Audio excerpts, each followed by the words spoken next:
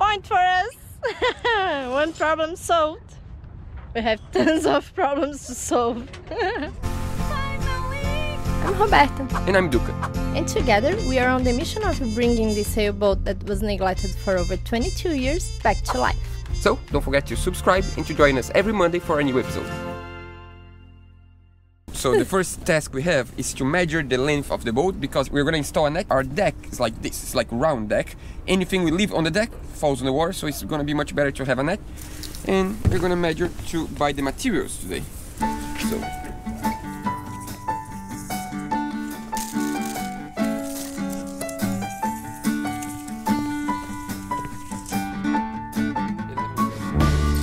So that means 1130 times 2, 22.6, 23 meters. 23 meters by 70. 23 by 70. That's good. Now let's go to the store. Let's get moving.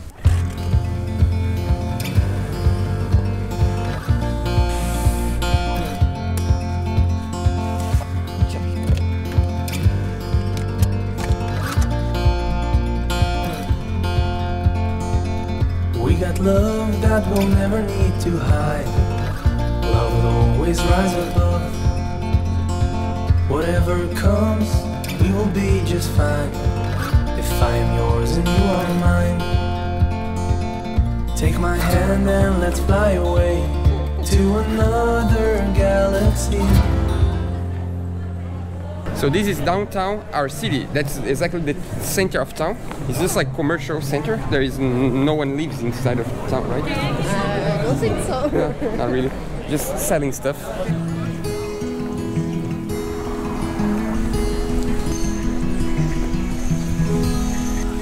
Has 200 250 years. Yeah, I remember since I was born, it was here. a long before, actually. Long, long time. That that's our childhood. There is a, a myth that if you want to get married, you need to do like, I think, seven turns around the fig.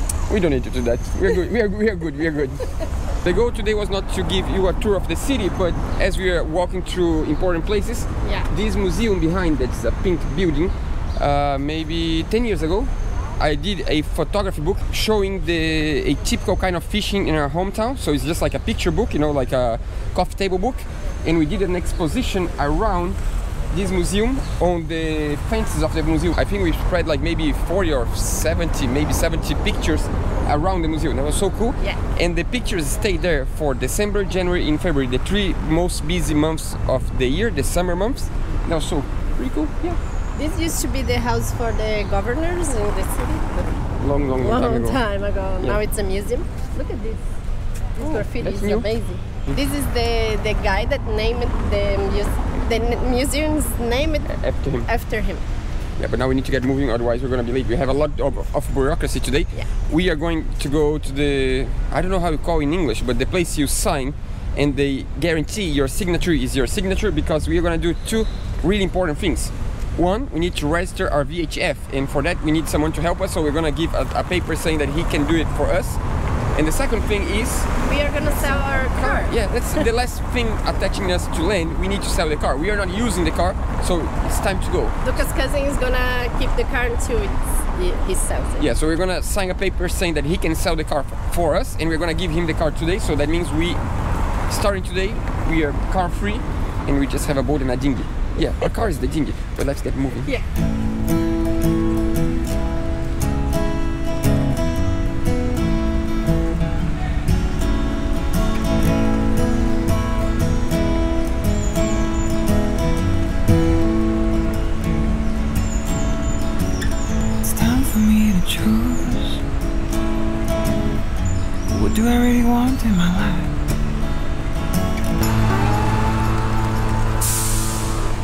Is the main Catholic church in the city. I don't know how many years she has. She has. It's not she, Yes. yeah. Actually, I don't know if you know, but my uncle used to be one of the priests here. Ah. Yeah, Do you remember? My, my mom used to last the, classes. to give some classes about religion here. You didn't know that? Yeah, we're not really Catholic. I mean, like the country is, the family may might be a little bit, but not, not really anymore. No yeah so the place we're going gonna go is right behind here we are getting there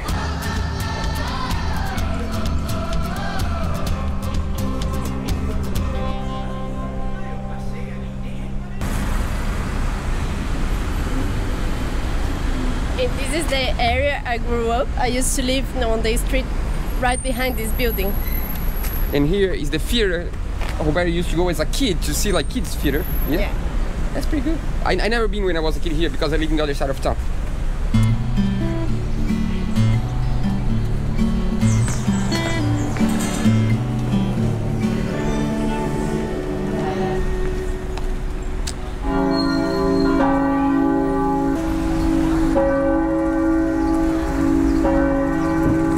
So nowadays it's really common for them to do expositions outside of the museum.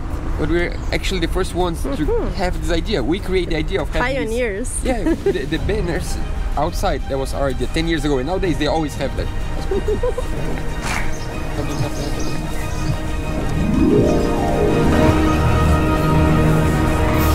so this is the special juice. That's been a while we don't drink. This is uh, sugarcane juice. That's really, really local here. Everyone drinks, and it's really, really sweet, but it's really good. Yeah. This is so good.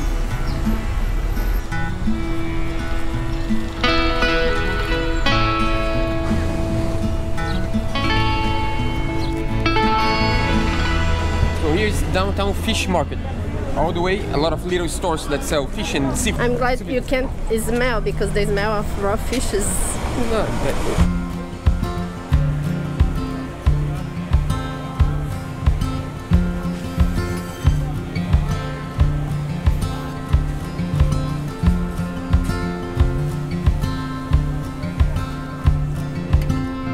and the other side. The other side is just like souvenir. Yeah, And here all the restaurants. yeah.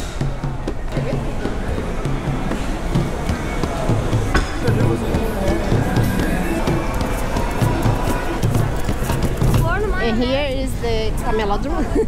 it's What's where you can find cheap things like phone chargers and glasses. China in Brazil, basically. Yeah.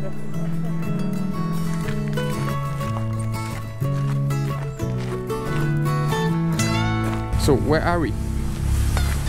We are in Parque da Luz. So what's the story of this park? This used to be a cemetery. Yeah, that that many many many many years ago. But Yeah. when we grow up, what was this park? It was an abandoned area. Nothing. It was just like a I don't know, a small tree, another small tree. And how did it become this park?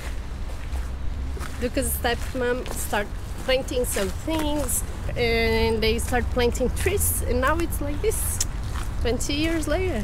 She saw the place and she said, "This is gonna be the future Central Park of Florianopolis." And It's becoming. It's like uh, her goal was to have big trees, and here we are, with this. There was no big tree at all, and now we have a lot of huge trees. And if you see from the top, you can tell there are so so so many trees. These two bigger trees are two trees that I financed as a birthday gift 20 years ago to the park, and now they're huge. Yeah, that's pretty cool. So the community around the park nowadays help to maintain the park because this, even though it's from the city, they don't do anything almost. yeah, my dad's part of the Association? the, the association of the park, the friends of the park. And they they keep the park as it is. I used to live. I don't know if you can see, but right there, in between the trees, has an apartment building. So that is second floor of the building. Then there is the third floor, and then there is our floor, and that's exactly where my bedroom used to be. And nowadays, I believe if you go there, you only see Yeah. trees from my bedroom. You- We used to see a huge, just open view of the bridge. We have the old bridge right in front, and I saw this growing up, like the, how from nothing this became a huge park, and that's so so cool. Yeah. And it's beautiful. We have like even a gym here. I didn't see this before. From time to time, some company invests on the, the park, so they have new benches, new. This walkway, I never saw this before. is that's brand that's new. new. Yeah, now we're gonna go through the bridge instead of on the bottom of the bridge, on the top. You know the bridge that we always cross to go to town. Yeah, now we're gonna see from the top. We told you that before, but this bridge was being fixing for over 30 years because it was falling. It was almost falling, so they rebuilt the entire bridge, and now it's all good.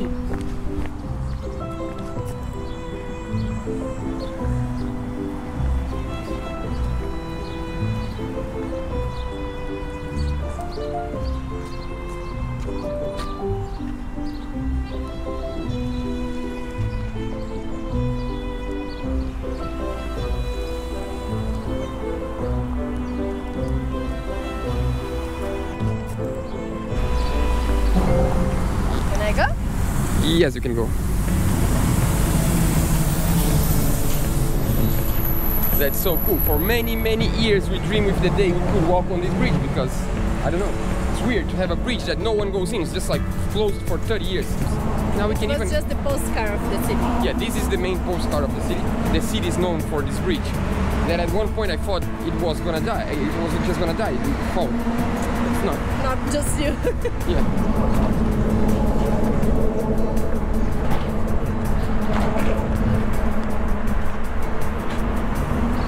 Where is Odd right now? Oh, it's exactly there, right there. It's a historical moment. Funny fact: this bridge actually actually was not meant to stay for so long working. They, I think they built three of these, two in the United States, one in Brazil. Then, they ship all the parts. They just assembled the bridge here, but it was made on the US, and that's pretty cool. And the company that fixed the bridge is actually from Portugal, not from Brazil, because the Brazilian companies they try for years, and I don't know. I guess the government just stole money, stole money, stole money, and never fixed the bridge for real. It was just a way of making money for themselves. And now, for, I didn't believe it was it was gonna happen, but it did. I'm proud, really proud. I thought it was wasn't gonna happen, and here we are. The bridge is working. That's so cool. I want to show something really cool. It was a cotton seed inside the cotton, and I planted it, and I put in a vase, and I put here, and now it's big. What? I remember when it was so little. I thought you were gonna show, I don't know, something like uh, this tree. No, it's this one. Check how big. It's like six meters tall. That's pretty cool. That's amazing. I seriously and honestly, I had no idea it was this big already. It's been a while I don't come to the park. Congrats. Proud of you. So we both have trees here. Yeah. Mine is on the other side because the thing is, Roberta's mom lived right there. I used to live right there, so my tree is next to next to where I used to live, and Roberta's well.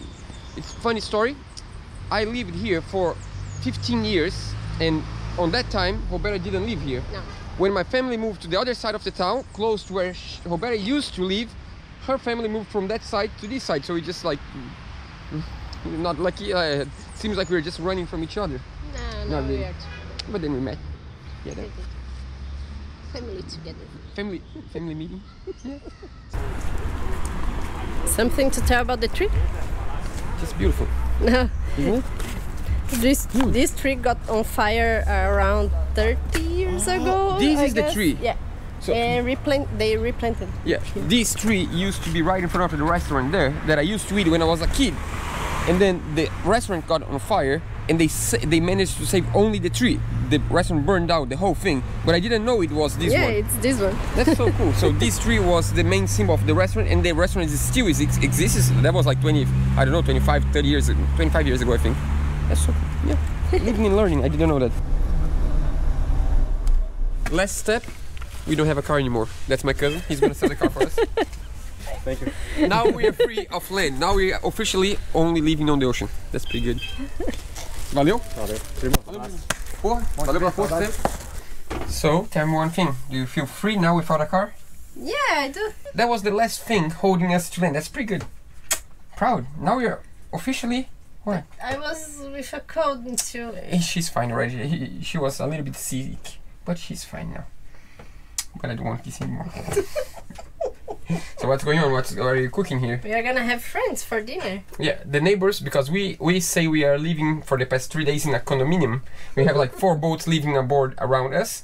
I mean, we are living around them because they were here m- way before. And the last three days we've been eating on their boat. So today, Robert is gonna cook for everyone, and we're gonna have a really good meal today to celebrate that we don't have a car anymore. I hope I can cook this. Yeah, this. I Uh, have never done a uh, Tuna? tuna before. I hope I can do it. Maybe they have some recipe. we went to the market today. That means Roberta's mom's house. so we go to her mom's house, open the fridge, and be like, mm, we're gonna take this tuna. This is good. This, This is good. I'm gonna take this tuna and I'm gonna take this salmon. So salmon, tuna, and we're gonna have a really good meal.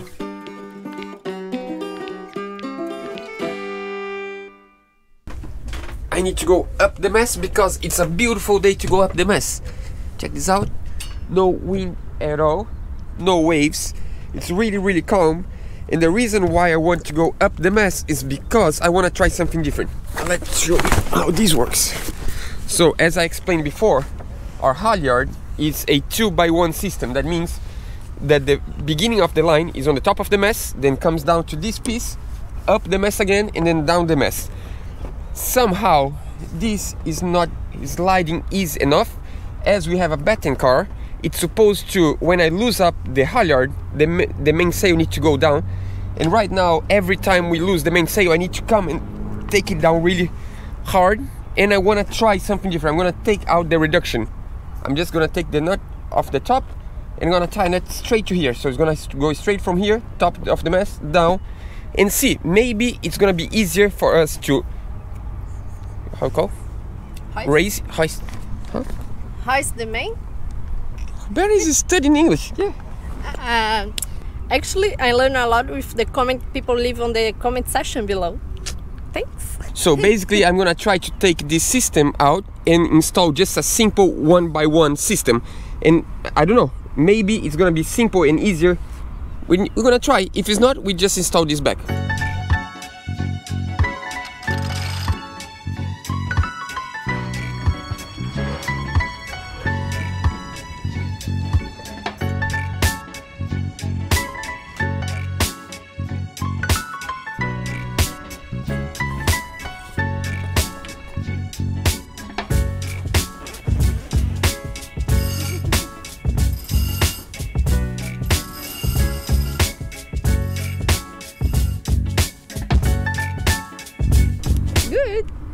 Was okay.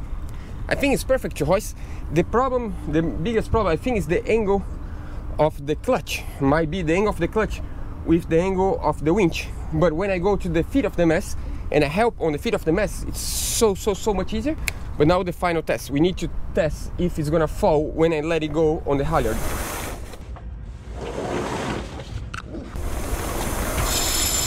Oh, this is life. So much better. The little end that didn't go, but Point for us. One problem solved. We have tons of problems to solve. Happy? yes, really happy. That's just so good. I think it's gonna just leave like this for now. It's a little bit harder to get the last tight of the sail, but it's all good. We can take it. Of course, we have some wind.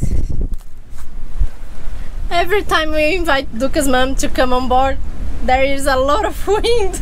Every single time since our first boat. There's a sailboat there, and Duca and another friend are trying to recover the boat because the anchor didn't hold the, the weight of the boat. So they are trying to get the boat and put in some mooring board. More friends are coming to try to put the boat in the mooring board.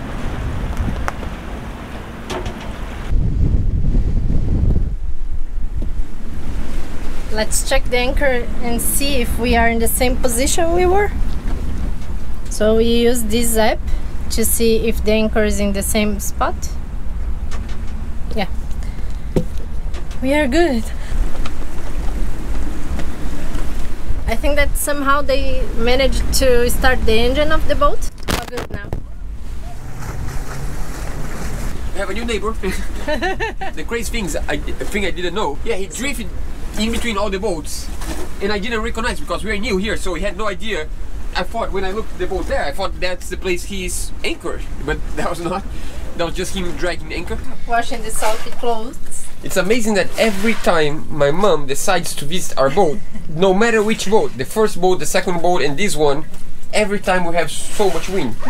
It's just, I, I don't know what my mom has with wind, but Of Yeah. course, she didn't come. oh, we're, we're just moving a lot.